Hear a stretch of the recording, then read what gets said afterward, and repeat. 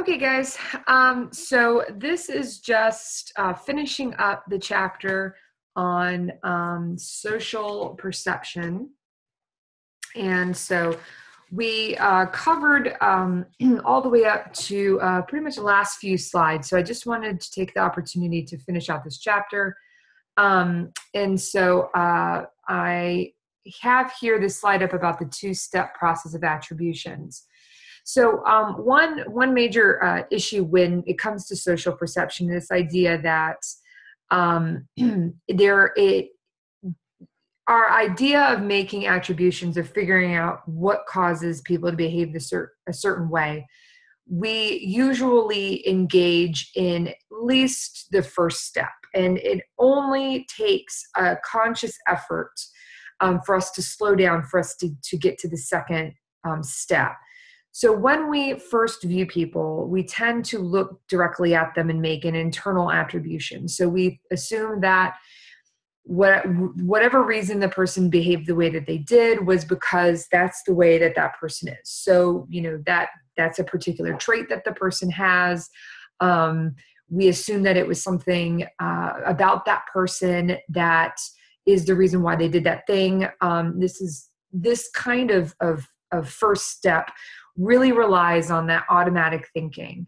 Um, if we're in a situation where you know a car jumps out in front of us and we go oh my goodness that person's such a jerk um, you know that's something that tends to come very quickly and and many many times we actually don't further engage in any thought of other than that the person is a jerk or they did that because they're selfish or um, you know whatever the reason so our first step is almost always making an internal attribution about about a particular behavior. So you know they behave that way because that's who they are um, because it's such a quick and spontaneous thing.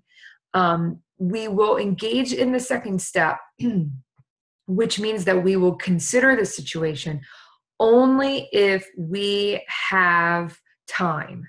Only if we have time to sit and think about it. If we slow down and think carefully before making a judgment um, or if we're motivated to actually reach an accurate judgment, um, or if we're suspicious. So if we are motivated to think further, we want to know more about the person or more about the situation, then we'll go into that second step. Or if we really suspect that there's something's going on. So if there is, for example, suspected lying, then we will tend to look at um, at the situational factors. So um, there there is a chance that we engage in the second step of thinking where we you know where we're on the right track but then we don't quite go through that um, and that that's that can happen.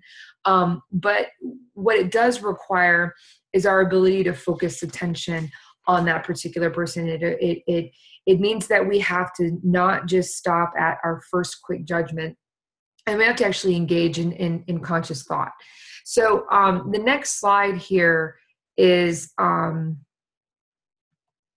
having trouble with my slides. It's not showing.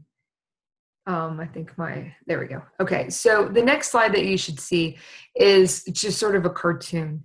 And what this is essentially is if you are going in step one or step two if you stop at step one and what attribution you you come you conclude and then if not going to towards step two.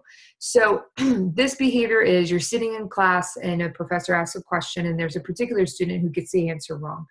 Um, so if you're if you engage in the first step you may automatically assume that there's an internal attribution that oh that person's dumb or they're not you know paying attention or they're a bad student.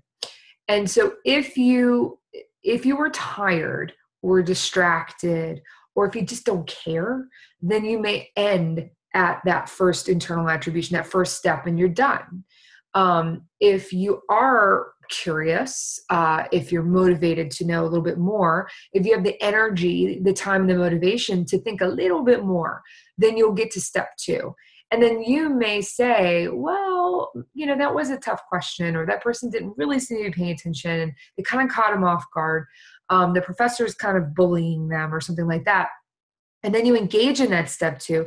Then you can adjust that initial attribution that that that you had at step one. Oh, they're dumb, right and then might say okay well you know perhaps that that isn't the reason why they behaved in that particular way and this idea is just remember again you you engage in step one because it's a very quick automatic way to reason why people behave the way that they do. It's it's it's easy to just say it's because of whatever trait they had and then step two, you will only engage in that if you have the time and the energy and the motivation to do so. But a lot of times we stop at state, step one simply because we just don't care. Um, if you're tired and if you're sitting in class, you're like, ah, that person's dumb. Oh, well, end of story. Um, but engaging in this more thoughtful thinking, what that does is it allows us to really uh, get at a person's real true behavior, why they do the things that they do. It could be the person is dumb or not paying attention or you know whatever but to at least allow ourselves to engage in the situational thinking. Um, maybe wait again and see if there is another question that's asked and see if the student answers the question wrong again um, and just putting more thought into it. So this is a a part of act of, of figuring out what the person is thinking what why the person did the behavior that they did and figuring that out through uh, in this in this case step two of more conscious thought now, this is just a picture to kind of uh, talk a little bit to what we talked earlier in class about this idea of holistic versus analytic thinking style. So I used the picture before of an airplane and had you guys look at the differences between the two, compare the, the airplane pictures. And so um, many of you, you know, picked up on some of the big, um, some of the differences between, for example, plane to plane. But remember we talked about holistic um, style of thinking being big picture, being um, the planes in reference to each other, uh, being the, uh, the, the the items in reference to each other in the uh, on the picture and the big sort of global aspect of those pictures. And so when we give a, a person who is a more of a holistic style thinker um, those kinds of pictures, they're much easier to pick up on the whole picture. Um, they're more interested in looking at the person or object and the relationships between people over um, you know some of these little tiny details. These just this is a more eastern style of thinking um, and it's not that people in, in in what we call collectivist cultures um, where the family is um, very uh, very important. Now these collectivist uh, cultures for example in japan this picture here shows uh, japan um, city uh, inter, like a, a, a, big city in Japan, um, you know, we're looking at those individuals who, when in collectivist uh, cultures, tend to look at the situational information much more than a person in an individualistic culture. So remember, we talked about this analytic style, looking at the details um, associated with Western culture, and it's more focused on objects or people themselves. So it's focused on looking at the traits. Um, whereas collectivist cultures look at the whole picture, they look at the situation, look at all the factors there. So the interesting thing is that um, uh, that many people from collectivist cultures tend to not make uh, that mistake of, of staying at step one um, they tend to look at situational factors to, to try to explain attributions whereas in, in, individualistic and western cultures we tend to um, look more at the traits of the person. Why is it that the person did the thing? Oh it's because they're a jerk or because they're mean or because they're selfish. Whereas in people in japan might say well what was going on? Why did they act the way they did? What situation was was uh, was was happening? Um, so even though we see that you know collectivist cultures tend to do analytic thinking and um, and uh, Eastern cultures tend to do holistic thinking. It doesn't mean that either one can't engage in both types of thinking. It's just what we see typically happen first on that sort of the first instinct.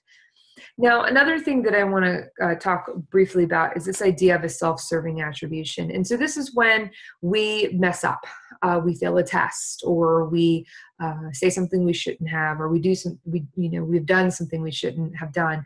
We tend to do, uh, we tend to make these attributions that are self serving. So, we may say, for example, that um, we failed the test because we were tired or because it was just too hard the professor's really hard or um, you know it's something to do with this situation. We we tend to explain our failures um, because of the of the situation you know oh i couldn't concentrate because there was something going on outside and i failed that test or you know something like that. Instead of saying oh i'm stupid we tend to say that there's a situ there's a, it was a situational factor. And then we blame our successes uh, or explain our successes on something internal or dispositional. We say oh well i won that game because i'm a really good athlete. Oh i lost that game because uh, they didn't call it well. Uh, and so you can have the same sort of situation but it's self-serving and so we do that mostly because we want to maintain our self-esteem. We want to feel good about ourselves. We want other people to to uh, think well of us, admire us. Um, we want to get along with people, and we want them to uh, to value us. And so we tend to do these self-serving attributions to make ourselves feel better. So again, blaming those those losses on external factors, and then explaining the wins, the, the successes on something internal and so we know more about situational factors that are affect our that affect our own behavior compared to other people. We can't always predict how other people are going to react to their own situation and we don't know all those details. Even friends that you have you, you don't know exactly what's going on in their life so you don't know all their situational factors. So we tend to um, to uh, blame uh, behaviors on on several different things for other people uh, their traits perhaps but we tend to not make the same mistake um, in terms of, of blaming behaviors on ourselves.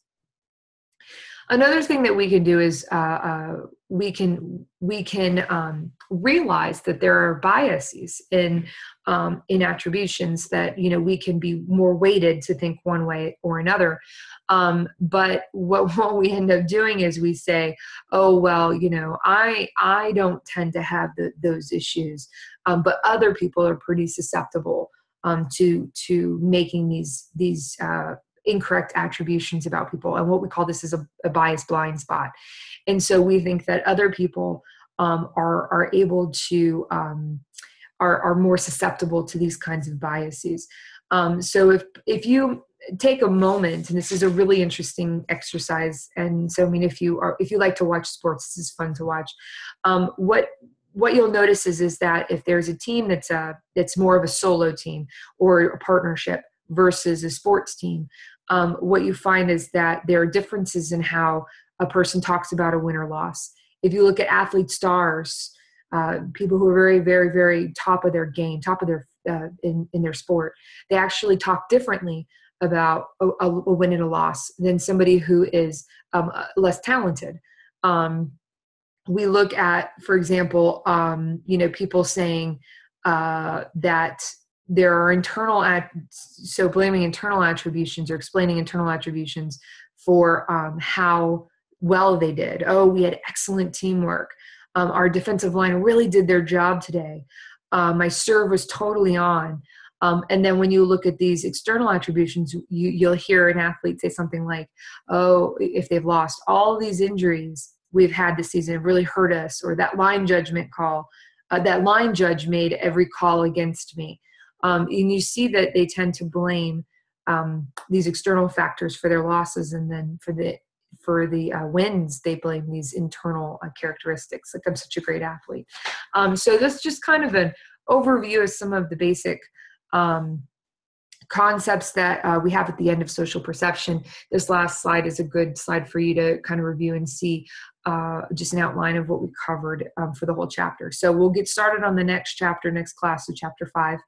Um, and um, I will see you guys in class.